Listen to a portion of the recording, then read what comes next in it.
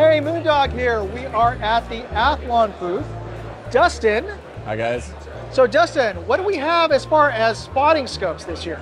Well, we brought back the Cronus series. So the Cronus G2, this little guy here, is a 20 to 60 by 86 millimeter objective.